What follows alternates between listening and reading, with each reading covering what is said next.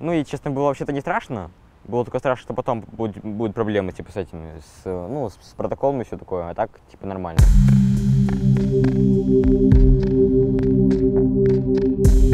Короче, когда ждал, подъехал автобус без номеров и тонированный.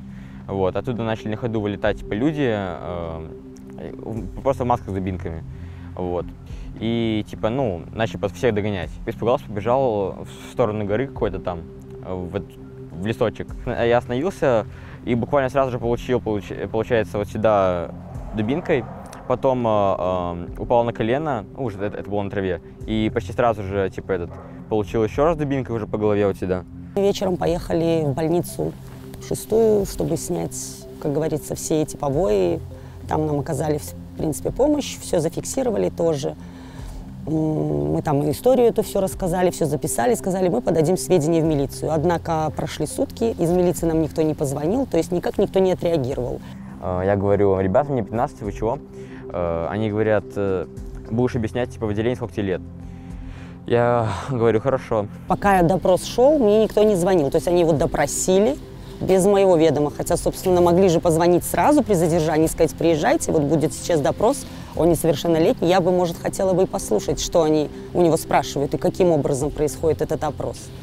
Но когда я приехала, его мне просто вывели в фойе. Я написала объяснительную, что вот я такая-то, приехала забрать своего задержанного сына, никаких э, противозаконных там действий он не совершал, собственно, как бы за что его-то и зах- ну, взяли, непонятно для меня. Пошла в Следственный комитет и написала заявление о том, что моего сына избили. Кто и как, э, давайте выяснять, как говорится. Они должны, по идее, какую-то, ну, что-то как-то, реш- ну, я не знаю, что-то сделать для того, чтобы хоть как-то начать разбирательство, кто это бил моего ребенка, за что. Я, собственно, просила в заявлении, чтобы мне сделали экспертизу судебно-медицинскую, но уже прошла неделя, конечно, почем ее там уже делать? На основании той справки, что мы сделали в шестой больнице?